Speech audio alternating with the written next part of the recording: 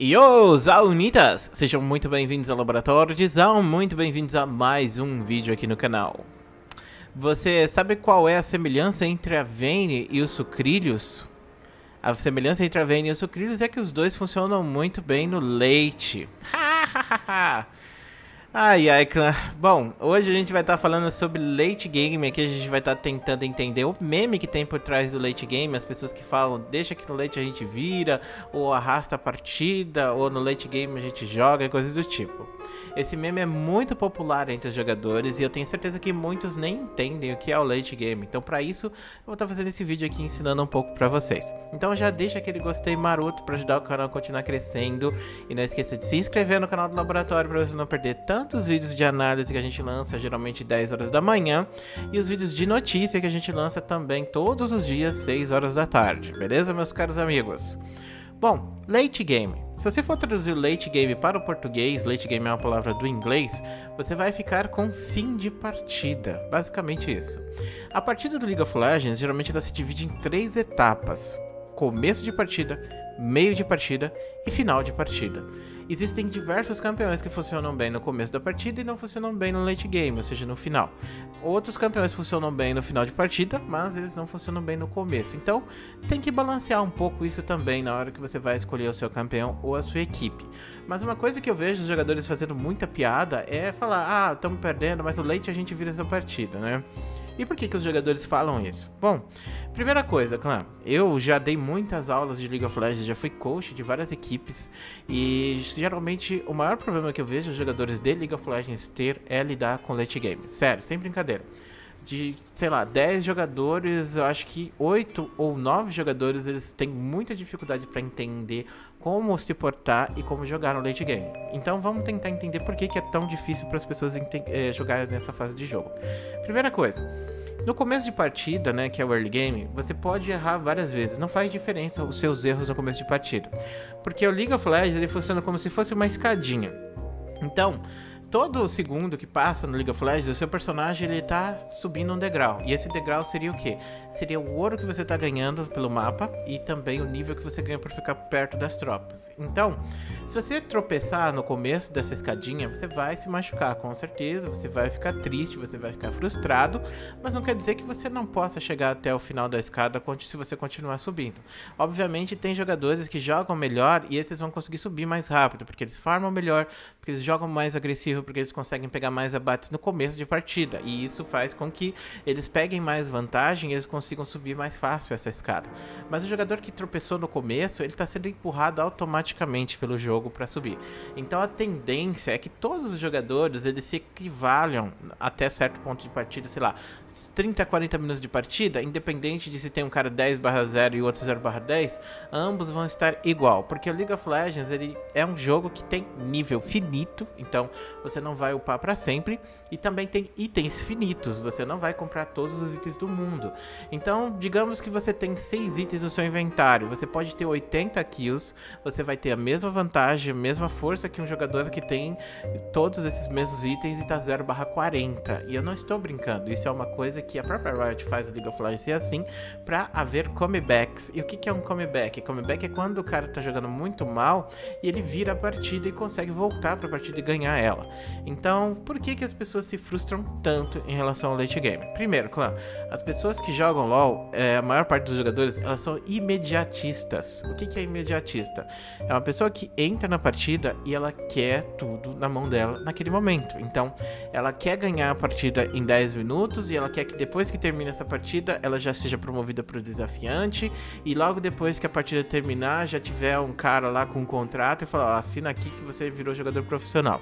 A maior parte dos jogadores eles querem isso, eles não querem passar pelo processo inteiro de aprender e o processo inteiro de você se esforçar. Infelizmente, é assim que acontece na nossa sociedade e não é só em relação ao League of Legends, não, é em muitas outras coisas. Isso é uma tendência das pessoas mesmo, elas querem as coisas palpáveis, elas querem que as coisas aconteçam naquele momento, elas não querem esperar.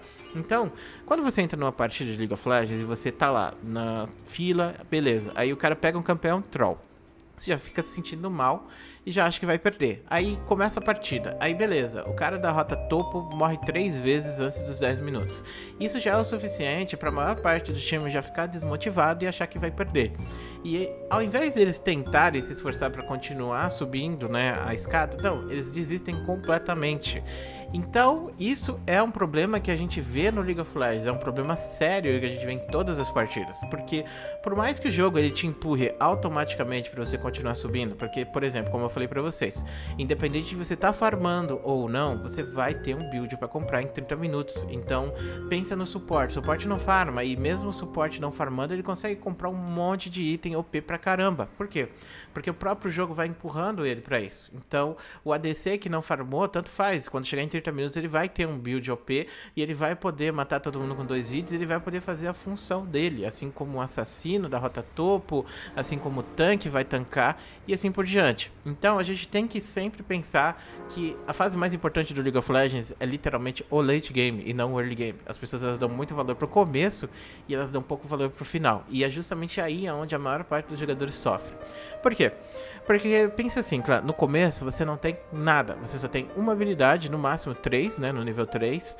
Você não tem nenhum item, no máximo dois itens, uma bota, uma espada Dorão, um anel Dorão, e isso não vai impactar em nada no jogo. Se você comparar a espada Dorão que você tinha no começo do jogo contra o Gume do Infinito que você compra depois dos 20 minutos, a diferença é brutal. Então, a partir dos 20 minutos, os itens que você vai ter no seu inventário e as habilidades que você vai ter são muito maiores também. Então a gente divide em quê? Começo de partida é quando você farma para o seu personagem crescer. Meio de partida é quando você já está com todas as suas habilidades, né, o seu ultimate, e você pode utilizar essas habilidades para pegar abates no adversário ou contestar objetivos, que nem Barão e Dragão. E final da partida é quando está todo mundo no nível 18, todo mundo com todos os itens essenciais, tudo fechado. Então, se você morre no começo da partida, tanto faz, tanto fez. Por quê? Porque você não tinha item, você não tinha habilidade, e o adversário também não vai ganhar item e não vai ganhar habilidade por te matar. Ele vai matar você, vai ganhar 300 de ouro, e isso vai fazer uma diferencinha sim no começo, mas não é uma coisa que vai impactar, por exemplo, o cara ganhou um gume do infinito porque ele pegou o primeiro kill, sabe? Mas agora pense assim, no late game, por que, que isso impacta mais? Primeiro, porque todo mundo tá com todos os itens. Se o cara morreu uma vez no final da partida, aí ele vai ficar fora da partida por um minuto. E um minuto é mais do que tempo suficiente para o time adversário pegar o barão direto junto e depois empurrar a rota meio, matar três torres e o Nexus tranquilamente. Então o late game é a fase mais importante do LoL, é a fase mais poderosa também do LoL e é a fase onde todos os jogadores vão ficar iguais. E por que que surgiu o meme do late game? Deixa pro late game que a gente vai virar no late game. Por causa disso, claro. Porque muitos jogadores eles tratam essa ideia do League of Legends ser um jogo focado no final de partida com piada, como se fosse algo engraçado, como se fosse algo que eles tivessem que focar mesmo. Então, conforme você vai vendo jogadores melhores, né, você vai começar a ver melhor mais essa piada. Você vai ver mais as pessoas falando isso, porque esses jogadores, eles já entenderam e já interpretaram que essa é a melhor fase do League of Legends. E é nessa fase onde a partida ela vai ser definida e principalmente aonde os melhores jogadores vão ser definidos, porque uma coisa é você ganhar a partida em 10 minutos porque o adversário quitou ou porque você teve sorte e pegou uma abate em cima do cara que tava dando rage. Outra coisa é você ganhar uma partida de 30 a 40 minutos, onde você jogou melhor que o adversário durante a partida inteira e você soube se posicionar melhor durante a partida inteira e você soube capitalizar nos erros do adversário durante a partida inteira. Então, de fato, todas as partidas do League of Legends, eu quero que vocês entendam isso.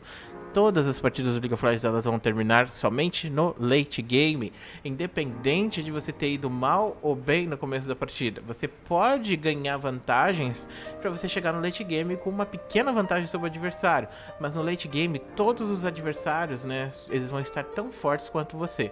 Mesmo que você tenha pego 30 kills, mesmo que você tenha pego 50 kills, isso não importa, porque se você estiver jogando com ADC, por exemplo, você vai poder morrer para um tapa de um assassino, e isso vai acontecer. E se ele souber lidar contra você, tipo, se ele souber fazer jogadas contra você e você não souber se posicionar, você vai morrer e você vai perder. E não adianta você reclamar e dizer que você perdeu um jogo que foi injusto justo porque você estava muito fidado.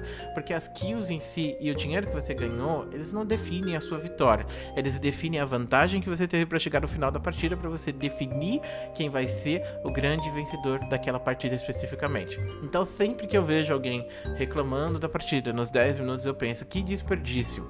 Porque eu penso, o cara tá jogando a partida dele de 50 minutos, que poderia durar 50 minutos e ser uma vitória, em 2 minutos. Mas a gente volta de novo pro problema do imediatismo. As pessoas estão muito imediatistas. Elas querem a vitória agora, elas querem a vantagem agora, elas querem terminar a partida e já tá lá no diamante. Elas não querem jogar. E se você for ver os jogadores desafiante, diamante ou platina, que são elo alto do League of Legends, você não vai encontrar nenhum jogador com menos de pelo menos 300 ou 400 partidas. Mas se você for olhar os bronze e os prata, que são os que mais reclamam de não subir ou de time troll, o cara tem 50 partidas no máximo. E 50 partidas não é o suficiente para você conseguir vencer. Porque o League of Legends é um jogo onde você compete diretamente contra os outros que estão jogando contra você.